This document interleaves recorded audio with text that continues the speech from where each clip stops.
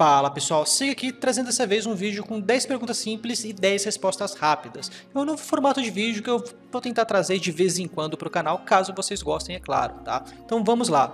Como liberar o upgrade do manto temporal?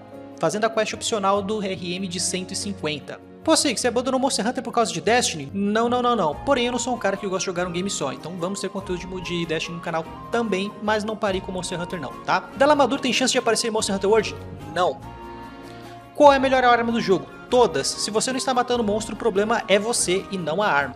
Como eu uso o chute da GS? Segura o botão de bloqueio e depois aperte o botão de ataque forte. Como faço para pegar aquela joia X que eu preciso para minha build? Reze vai fazer investigações de monstros guerreiros. Joias tem drop aleatório no jogo, não dá para escolher a joia que você vai dropar. Mas Sig, por que a Delamador não pode aparecer em Monster Hunter World? Por que não? Qual é o seu monstro favorito da franquia? Fatalis. E no Monster Hunter World, Shari Chivalda. Vai ter vídeo novo de lore sobre os dragões anciões de Iceborne? Sim, claro que sim. Esse vídeo já está sendo produzido já, pessoal. Bom, então é isso, pessoal. Espero que vocês gostem do vídeo, tá? Se puderem deixar um like, eu agradeço bastante. E se não for inscrito, se inscreva, tá? Para mais conteúdos como esse, conteúdos de Monster Hunter, Destiny e outros jogos no geral, tá? E é isso aí. Obrigadão, valeu e até mais!